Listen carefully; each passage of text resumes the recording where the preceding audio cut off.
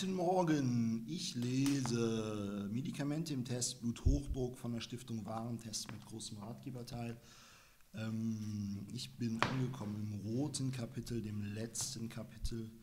Es heißt Medikamente bewertet und bei Medikamente von A bis Z werden die rezeptpflichtigen Medikamente in alphabetischer Reihenfolge aufgeführt und danach geht es alphabetisch den Wirkstoffgruppen nach.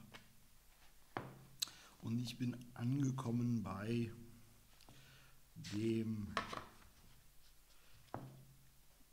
bei einem Medikament, das aus einem Calcium-Antagonisten und einem Diuretikum äh, besteht, einer Kombination, einem Kombinationspräparat aus zwei Wirkstoffgruppen.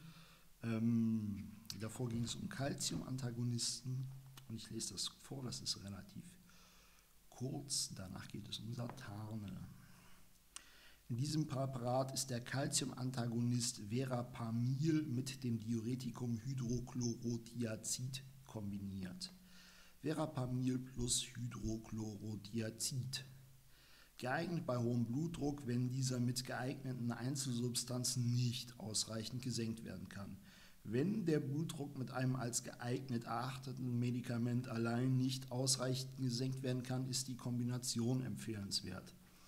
Weitere wichtige Hinweise zur Anwendung zu erwünschten Wirkungen zur Anwendung bei Kindern und Jugendlichen in der Schwangerschaft und Stillzeit sowie bei älteren Menschen finden Sie unter Calciumantagonisten und unter Thiazide und Thiazidartige Diuretika.